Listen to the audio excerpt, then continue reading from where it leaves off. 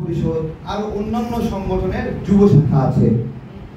যুব শাখা মানে যেরকম নাগরিক পর্যায়ে দল বিএনপি আওয়ামী লীগ, গণ অধিকার পরিষদ, জামাত এরকম ভাবে অন্যান্য সংগঠনের যুব শাখা আছে। তো যুব শাখা বা যুব অংশ, যেটা আলাদা করে একটা সংগঠন, এই আলাদা সংগঠনের প্রয়োজনটা কি? মানে কেন এটা প্রয়োজন হচ্ছে? আমার প্রশ্ন। এটা কি করতে চাই বা কেন আমরা যুব অধিকার পরিষদ তৈরি করেছিলাম? উদ্দেশ্য কি ছিল?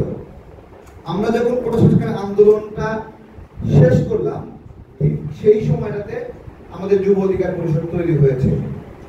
আমরা যারা যুব অধিকার পরিষদের একটা প্রাথমিক পর্যায়ে কাজ করেছি, আমরা কিছু অনুভব করেছি।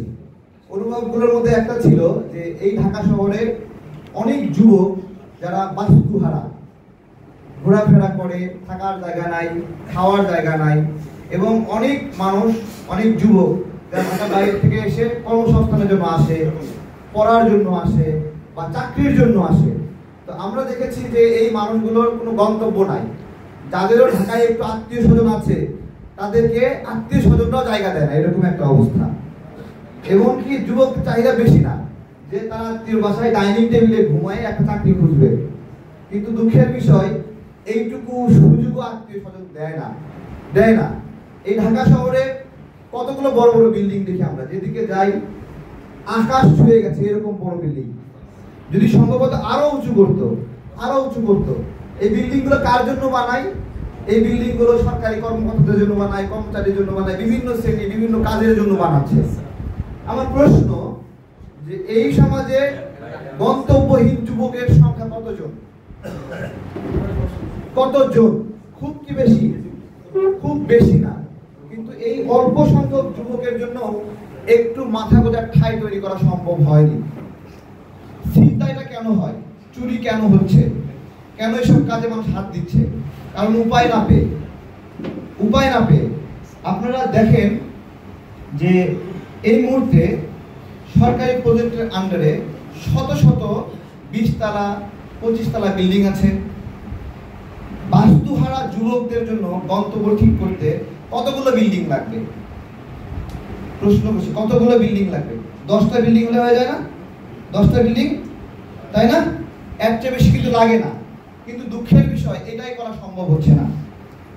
আমাদের যুব অধিকার পরিষদের বেশ কিছু চিন্তা ছিল যে আমরা চাকরির আবেদনের ক্ষেত্রে, চাকরিতে প্রবেশের ক্ষেত্রে একটা লিমিটেশন আছে, আপনারা জানেন। সেটা হলো তিরিশ বছরের পরে আর আবেদন করতে পারবে না কেউ। মানে লিমিটেশন তিরিশ বছর। অদ্ভুত না?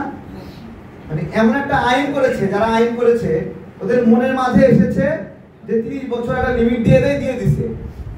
তিরিশ বছর যে দিল, কোন গণশুনানির মাধ্যমে দিয়েছে? শুনতে হবে না যে মানুষের ডিমান্ড কি? দিয়ে দিচ্ছে তিরিশের পরে আর আবেদন করতে পারবে না, চাকরিতে ঢুকতে পারবে না। তিরিশ এর পরে মানুষ ক্ষুধা লাগে না। তিরিশের পরে যাদের বয়স, তাদের বাবা মা অসুস্থ হয় না। তিরিশের পরে যাদের বয়স, তাদের বিয়ে করতে হয় না। বা যাদের চল্লিশ বছর, তাদের সন্তানের জন্য দুধ কিনতে হয় না। কিনতে হয় না। তাহলে লিমিটেশন দিয়ে রেখেছে তিরিশ বছর। আমরা যুব অধিকার পরিষদ এটা নিয়ে অনেক কথা বলেছি, কাজও করেছি, কিন্তু দুঃখের বিষয়ে, আমরা সফল হইনি। কিন্তু আমরা এখন যে যুব অধিকার পরিষদ গড়ছি, আমাদের মেধা এবং বুদ্ধি দিয়ে আমরা এই চাকরির বয়স বৃদ্ধির বিষয়ে আমরা কাজ করব, ইনশাআল্লাহ। এবং আমরা আমরা খুব দ্রুতই আপনারা দেখতে পাবেন যুব অধিকার পরিষদের ব্যানারে যুবকদের জন্য আমরা এই উপহারটা আমরা নিয়ে এসে ছিনায় নিয়ে আসব। যে কিসের তিরিশ? তুমি তিরিশটা কই থেকে পাইলা? কোন গাধায় তিরিশ ঠিক করছে? কোন গাধায় ঠিক করছে তিরিশ? ওর মনের মধ্যে আসছে সেজন্য তিরিশ? বলেন, বাংলাদেশের প্রধানমন্ত্রীর বয়স কত? সাতাত্তর, আটাত্তর? বা আটত্রিশ হতে পারে। এই বয়সেও তিনি রাষ্ট্র চালান। ক্ষমতা আছেন। ছাড়তে চান? ছাড়তে চায়নি? ছাড়তে চায় না, তাই না? ইচ্ছা করে না। তাহলে এরকম একটি বয়োজ্যেষ্ঠ একটা লোক, সে পুরা রাষ্ট্রকে চালাতে চায়। আর যুবকদেরকে তিরিশের পরে বলছে তিরিশের পরে নাকি ব্রেন কাজ করে না। তিরিশের পরে ব্রেন কাজ করে না। যুব অধিকার পরিষদের একটা প্রতিজ্ঞা যে আমরা চাকরির বয়স বৃদ্ধির জন্য কাজ করব। জিজ্ঞাসা করতে পারে, আপনারা তো যুব অধিকার পরিষদে ছিলেন, তখন কি করেছেন? স্মরণ করে দিতে চাই। করোনা সংকটের শুরুতে প্রধানমন্ত্রীর জনপ্রশাসন মন্ত্রণালয়ের প্রতিমন্ত্রী বলেছিল, শেখ হাসিনা আশ্বস্ত করেছে যে চাকরির বয়স, উনি করোনা সংকটের কারণে ড্যামারেজ করোনার মধ্যে চাকরির বয়স বৃদ্ধি বন্ধ মানে চাকরির আবেদন বন্ধ ছিল। বয়স পার হচ্ছে, চাকরি আবেদন করতে পারছে না। তখন বলেছে, আশ্বস্ত দিয়েছিল। প্রায় সতেরোটা দপ্তর শেখ হাসিনার নির্দেশনা না মেনে তিনি নিয়োগ বিজ্ঞপ্তি দিচ্ছেন দিচ্ছেন। চাকরির বয়স ড্যামারেজ দিচ্ছেন না। তখন যুব অধিকার পরিষদের প্রতিনিধি হিসেবে তেরোটা দপ্তরে ভিতরে গিয়ে মাইক বাজায় চিল্লায় চিল্লায় বলেছিলাম যে যুবকদের সঙ্গে প্রতারণা করা হচ্ছে। আমরা যতদিন যুব অধিকার পরিষদে কাজ করছি, ততদিন পর্যন্ত যুবকদের এই উপহারগুলো আমরা দেওয়ার চেষ্টা করেছি। এবং আলহামদুলিল্লাহ চাকরির বয়স ড্যামারেজের যে বিষয়টি, সেটি কিন্তু প্রাথমিকভাবে দেওয়া হয়েছে। অনেকে দুই বছরের ড্যামারেজ পেয়েছে, অনেকে আড়াই বছরের ড্যামারেজ পেয়েছে, অনেকে এক বছরের ড্যামারেজ পেয়েছে। পেয়েছে। এটা আমরা আমরা আমাদের জায়গা থেকে চেষ্টা করেছিলাম। আমাদের মাধ্যমে হয়েছে এরকম না, আমরা চেষ্টা করেছিলাম, সেটা আমরা বলতে চাচ্ছি। এই একটা বিষয় গেল। আরও অনেকগুলো সাফারিংস রয়েছে। আমরা কিন্তু বলি না যে বেকারদেরকে ভাড়া দিতে হবে বা কর্মহীন মানুষকে ভাড়া দিতে হবে। আমরা এটা এখনও বলি নাই। কেন বলি নাই? নাই, এই জন্য মনে হয় এটা প্রাসঙ্গিক না।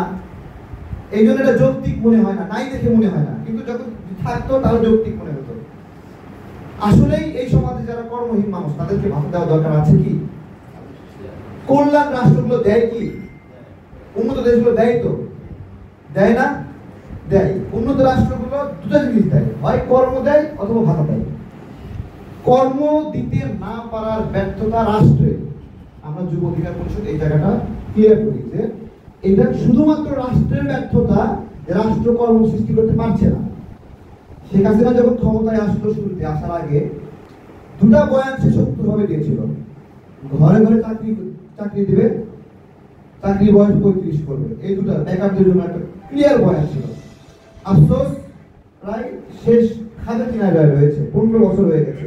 এই পনেরো বছরে উনি এটা করতে পারে নাই। খুব সুন্দর সুন্দর সুন্দর লাগে না? ঘরে ঘরে চাকরি দিবে অনেক ভালো লাগছে না যখন বলছে? যারা কর্মহীন তাদেরকে ভালো লাগছে না এরকম প্রতিশ্রুতি দিয়ে আসছে। তো আমরা বলছি, ঘরে ঘরে চাকরি তুমি দিবা কি দিবে না, সেটা পরের বিষয়। কর্মসংস্থান সৃষ্টির জন্য কি কি উদ্যোগ সরকার নিল? কি কি সফল উদ্যোগ নিয়েছে? আপনারা দেখাতে পারবেন সরকারি যে অধিদপ্তর বা দপ্তরগুলো রয়েছে, একটা দপ্তর মানে ইনকাম করে চলতে পারে মানে একটা দপ্তর সফল আছে, যেটা দিয়ে প্রোডাকশন হয়। আমাদের কতগুলো পাট কারখানা ছিল খুলনা এলাকায়? রংপুর এলাকায় চিনি কাল কতগুলো ছিল? রংপুর, এদিকে নাটোর, রাজশাহী এই- সাইডটাতে দিনাজপুরে চিনি কল ছিল অনেকগুলো। প্রত্যেকটা চিনি কল বন্ধ হয়ে গেছে। বন্ধ হয়ে গেছে। কেন পারে না? কেন পারে না? এই দুনিয়াতে তো চিনি তো নিষিদ্ধ হয়ে যায়নি। চিনি কি নিষিদ্ধ হয়ে গেছে? কেউ না কেউ কোথাও তো উৎপাদন করে, তাই না? তাহলে ব্যর্থ হচ্ছে কেন? এগুলো একটা নমুনা যে সরকার ঘরে ঘরে চাকরির কথা বলেছে, কিন্তু আমাদের যে কলকারখানাগুলো সরকারের তত্ত্বাবধানে ছিল, সেগুলো তারা ধরে রাখতে পারে না একটা সরকারের ব্যর্থতা ও সফলতা কি দিয়ে নির্ণয় হয়? হ্যাঁ ইন্ডাস্ট্রিয়াল ডেভেলপমেন্ট যেগুলো হয় সেগুলো দিয়ে নির্ণয় হয়। কিন্তু সরকারের হাতে তো ইন্ডাস্ট্রি থাকে। সরকারকে ওই ওইটাতে পাশ করে দেখাতে হবে না পাশ করেছি। একশোটা শিল্পাঞ্চল করার কথা বলছে তার মধ্যে যুবকদের কর্মসংস্থান হবে। সেই একশো শিল্পাঞ্চলের বিশটা শিল্পাঞ্চল সঠিকভাবে গড়ে তোলা সম্ভব হয়নি। যেগুলো আছে, সেগুলো ধ্বজভঙ্গ অবস্থা